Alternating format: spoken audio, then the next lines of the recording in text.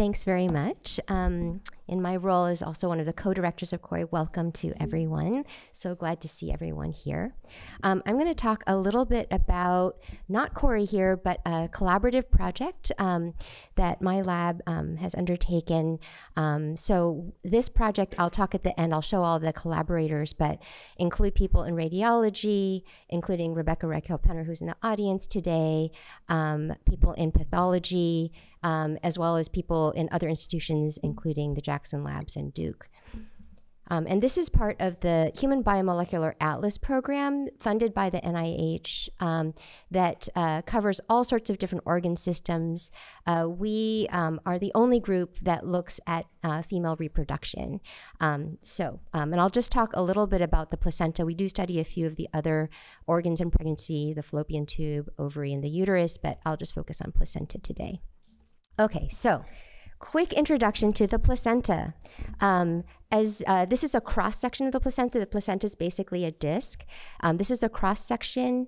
Um, this is the umbilical cord. This is the fetal surface. I'll talk about it as either the fetal surface or the chorionic plate potentially. If I slip into jargon, sorry. Um, maternal surface over here or the basal plate. Um, down here, this is the what we call the decidua, the endometrial layer of the uterus, and this is the muscle layer, the myometrium of the uterus. The structure um, that I will really focus a lot upon is the villus. The chorionic villus is this branching structure. We refer to it as the functional tissue unit of the placenta, it's like where all the action happens pretty much in the placenta. And so we're going to really zoom in on this as we go along.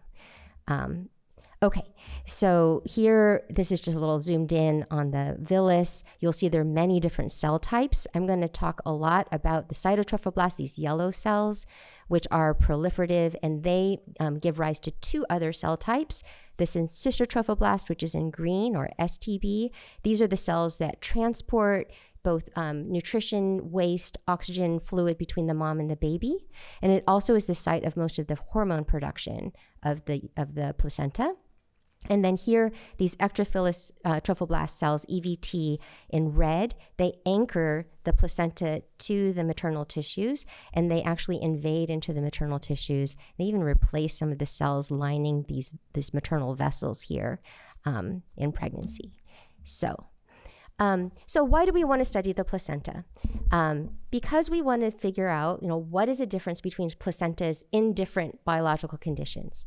Um, and today I'm just going to focus on some really high level, obvious ones um, because we need to start somewhere. So before we run and look at disease, we want to walk and just study normal placenta. And so I'll talk about two main conditions. Um, one is labor and not labor of the term placenta. And then I'll also talk about the placenta through gestation, through the course of development, through the pregnancy. And um, I'm going to refer to this table a bunch of times. And these are just types of questions we can ask, for example. What are overall differences, for example, between labor and not labor in the placenta? What types of cells are in the placenta? Um, if you see a difference between labor and not labor, which cell types are changing, or is it just that different the different cell types are um, changing not in what their behavior is, but in the number of cells? So these are sorts of questions that you know we in the placental biology think about all the time. Um, the uh, new technology is allowing us to not only see what types of cells are there, but who they're next to what their neighborhoods are, and how they talk to each other, which I'm referring to as cell cell signaling. So these are just large areas of questions. And I'll talk about the different technologies that we've used really quickly and what types of questions they can answer. So this is like old stuff now. Um, when I was going to grad school, this was like not even on the horizon, but now this is every day. This is called bulk RNA seq. You take a chunk of tissue, you ask what RNAs are in there. You can do this for uh, placentas from vaginal deliveries and C section deliveries. And then each of these dots is a gene. If it's in this gray, it doesn't really change much between vaginal delivery and C section. If it's red, it's higher in labored placentas. In blue, they're um, higher in the C section placentas. Um, you can look at other questions too, like male and female babies. There are differences. There's like all these differences here. This is the Y chromosome. These are all the genes in the Y chromosome, um, not surprisingly. But um, as you can see, you get this cloud, you get lists of genes, you can do some functional enrichment analysis for people who know like pathways analysis, but it's still very big picture, right? So basically, you can look at global differences. You cover the whole transcriptome. You can look at every RNA that's there. You can look at all the cells that are there. And it's pretty cheap, so you can do hundreds to thousands of samples. But you don't know which cell types are there, and you don't know what each cell type is doing. And plus, if you have really rare cell types, they get lost in the noise, right, of all of the different transcripts running around in your chunk of tissue. So you can answer basically two categories of questions using bulk RNA sequencing. All right, so you can then do single cell or single nucleus sequencing, and this is just one of the data sets that we generated as part of this project. And in this case, each dot is a different cell. And the relationship spatially um, in this picture is just which cells have more similar RNA sequences and um, what we call ATAC-seq or chromatin accessibility um, signatures. And here you can annotate the different cell types. So, you know, syncytial trophoblast, which I mentioned before, extravillous trophoblast, those invasive cells, these tiny, you know, yellow cluster here. Um, CTB, the proliferative progenitor cells, the cytotrophoblasts are over here. So, um, so you can get data on lots and lots of cells. This is 43,000 cells, just about in all these different types. Um, you can do some comparisons between different conditions. And um, I'll have to say that we just got data right off the presses on some different conditions, but I didn't get the, the supercomputer did not work fast enough for me to share them with you. But um, this is just showing you that you can look at lots of cells at a time. Um, and get really detailed information about them.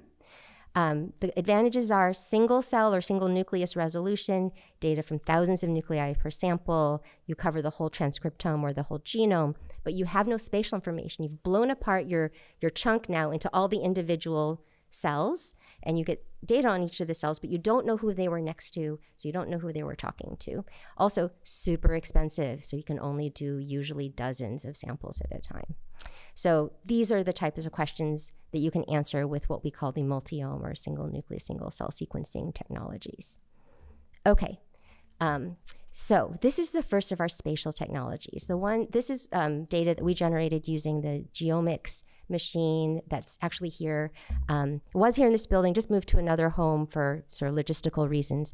But basically, you can take a section of tissue. So this is as if you had a pathology specimen, you cut it, and then what you do is you can pick out different areas and you can do sequencing on those areas. And in fact, you can do better than that. If you have markers for the certain cells that you care about, you can actually profile just those cells. So, for example, we use pan-CK, pancytokeratin as a marker of the syncytial trophoblast, and CD31 as a uh, marker of the endothelial cells. You see these beautiful syncytial trophoblast layers here, and then these beautiful um, fetal capillaries.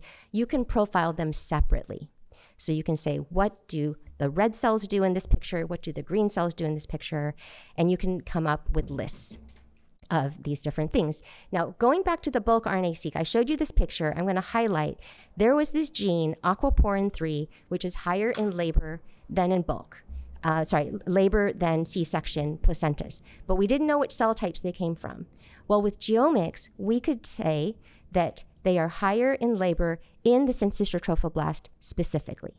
They're not in the endothelial cells. They're not in the stromal cells in the placenta or the extravillous trophoblast. Specifically, non-labor it's not on, in labor it turns on. So you can really look at individual genes, who's making them, you know, in that whole tissue. Um, another thing you can do is you can look at the same type of cell in different locations of the tissue. So if you look at a double staining between cytokeratin and HLA-G, you get the extravillous trophoblast. They are in the basal plate, so in this area. They're also in the septa of the placenta. And they're also in two other areas of the placenta. They're at the chorionic plate, which is where the fetal side is, and they're in these other structures called trophoblast islands. So with GeoMx, you can pick these areas separately.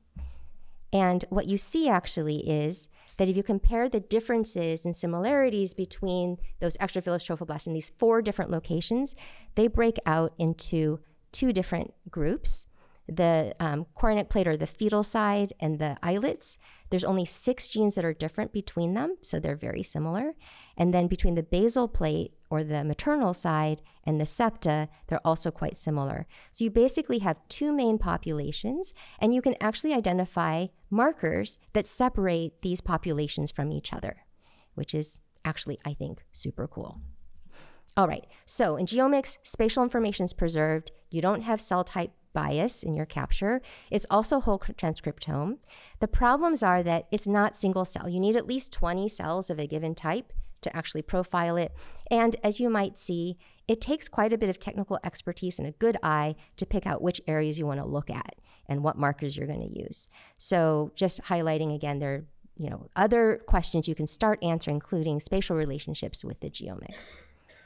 Um, I'm going to move on to another spatial technology. This is called imaging mass cytometry. So, unlike the GeoMx, this is imaging. You see everything that's there, right? Cells, not cells, everything. Here, the limitation is you have to pick which proteins you want to look at in this. It's an antibody based assay. Here, we pick 28 proteins custom, develop the assays for them. And here, I'm just showing DNA um, for the nuclei of the cells and four markers um, for looking at the cells within them. So this is, of course, very pretty. I love these images. Um, but what can you learn? Well, you have to then go into a very complicated and complex uh, and sophisticated set of bioinformatic tools that help you quote segment the cells. So this is a beautiful picture, but where are the cells? How do you recognize cells? So we have a collaborator at Duke, John Hickey, who developed this segmentation tool called Mesmer, um, which helps identify the cells. And then it clusters them according to the similarity in their expression of those 28 proteins. And this is just another way of looking at it where now we have the cells across the cell clusters across this way and each of the 28 proteins this way. So a big dot means that a lot of cells in the cluster express that protein. A dark dot means that they express the, cell, the those that protein highly. So you have both color and shape telling you about abundance of the cells in those clusters expressing that protein and darkness, how high that level is. Um, and basically, to me, this is the kind of figure to look at about 20,000 feet because you just want to look for patterns, right? So you might want to say, well, you know, what's going on here? This type of uh, cell is expressing basically this one protein. Well, these are B cells, right? Um, if you look over here, this cell here is this type of cell is expressing basically only one thing very highly. It's tryptase. These are mast cells. Um, so these are very rare cells in the placenta that normally you wouldn't see unless you had nice markers for them. Um, you can also start seeing we have syncytial trophoblast, but we have four different types of them. Um, we there's endothelial cells, and there's five different types of those. So these are the things you have to you can start learning if you have um, an, uh, an imaging type of technique. So for IMC, um, great. Uh, there's spatial information preserved. There's no cell type bias. It's actually very sensitive because antibodies are very sensitive. It can detect some very rare cell types if the right markers are chosen. The problem is that only a few dozen proteins can be detected. If you don't choose them correctly, you can completely miss a cell type, right? If you have a marker for a cell type that you don't pick, you're not going to see it. It's also very slow and expensive, and so you can't analyze that many samples. We um, did four sections um, of term placenta. It took us a month to generate that data. So um, I know Ina's here, and she has the next generation of that machine, which is much, much faster. Um, we actually ended up, quote, breaking the machine at the Jackson Labs, and they retired it right after our project. They had to change the detector on the mass spec attached to that machine four times during our project. So, um, but it did generate beautiful pictures, right? So, um, so you can look at uh, new cell types if you pick your markers correctly. You can see differences in cell numbers because there's no bias, and you can look at spatial relationships. Um, so IMC is great for what it does. Um, this is our newest platform that we've brought on. This is called Xenium. So this is an imaging system, very similar in an idea to the imaging mass spec, except that it primarily looks at RNAs. So you can pick your favorite panel of about 300 to 500 RNAs. We did 300 because that was the state of the um, of the technology when we started collecting our data. We went through the literature as well as our multiome data and our GeoMx data and picked out 300 genes that you see here to mark the different anticipated cell types. So this is actually from our prior data. And, um, and so I'll focus here basically on trophoblast across gestation. So on each of these pictures, the coloring is the same. Syncytial trophoblast, that transport layer is in blue. Cytotrophoblast, that proliferative layer is in yellow. These light blue are actually syncytial trophoblast on the way to being, uh, uh, sorry, cytotrophoblast on the way to being syncytial trophoblast, and then EVT, the red ones, are the invasive cells. So you can see in the first trimester this beautiful pattern of these are the villi. There's a continuous layer of the layer of the proliferative cells that then feed into the outer layer.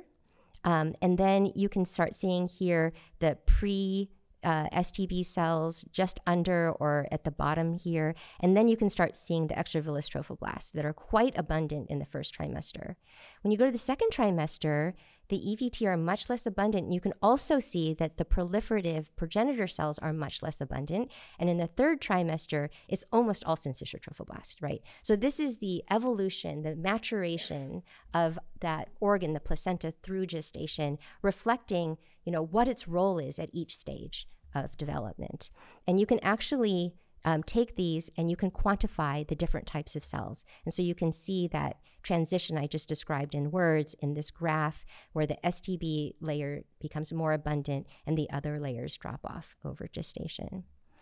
Um, and so you can then do a dot plot like this and look at these different cell types across gestation, first, second, third trimester, and the fact that actually there are different markers for these cells. So it's not just the abundance of each cell type, but the cells are changing through development. And then finally, I just want to show this um, this case because it's so beautiful. This is a first trimester gestational sac, basically in its entirety. So the sac is in the middle, and then the, the placenta that's developing is all around it at this stage of development. And what you can see is if you dive deeper, you can see this inset is similar to the previous um, set of slides. It's coming from this area. And what you can start seeing is there's multiple types of progenitor STBs, and there's multiple types of the extravillous trophoblast as well. And you can see that they are spatially changing. So there's one level here proximal to the to the gestational sac, and then other types of EVT that are more abundant later um, farther out. Um, and again, you can start looking at what are the differences in the expression of different um, RNAs in these different subpopulations. So xenium, we're super excited about. Spatial information is perce- uh, preserved. Again, no bias in the types of cells you look at. A plus and a minus, it can see more transcripts than, for example, the IMC can see for proteins, but it's still limited. It's not very sensitive. So the number of genes it can detect per cell is a little smaller than all the other technologies. And again, it's very expensive. Um, so again, things that it can see. One thing I wanted to, to talk about is right now what we're doing in the group is integrating all these different data to try to get a fuller picture. Um, and so, you know, by combining all these technologies, you can capitalize on their strengths, get over their weaknesses, and then integrate that to map um, the data so that you can ask all of the questions. All right, so I just wanted, last slide, thanking all the folks um, involved, several people in OBGYN, including Katie Fish and Marni Jacobs and Scott, um, Lindsay Hewitt, Valentina Kayla. I saw them all in the audience. Folks at JAX over here in the lower right, and then uh, uh, and their leader, Paul Robson, Mana Parast in pathology, and then John Hickey at Duke. So thanks very much.